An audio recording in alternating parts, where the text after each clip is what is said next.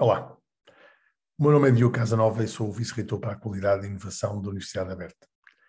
Sou responsável pelos inquéritos pedagógicos.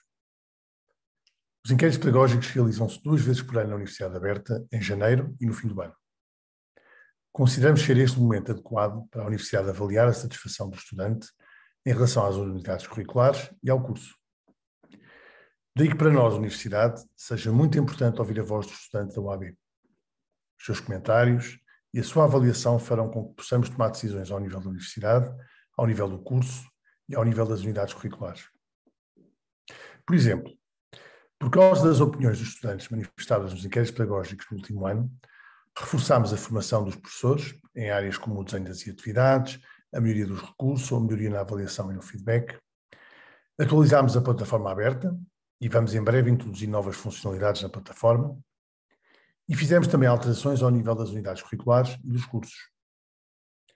É importante perceber que quanto maior qualidade e quantidade de respostas tivermos, maior possibilidade temos de melhorar como universidade e como professores. Não há ABI, a sua voz é ouvida.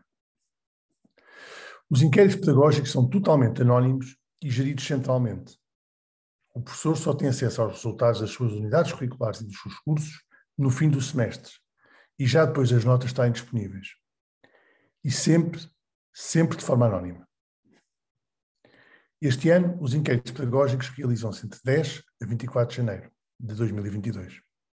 Aproveite a oportunidade de avaliar a sua experiência como estudante da UAB. Faça o seu papel e ajude-nos a melhorar.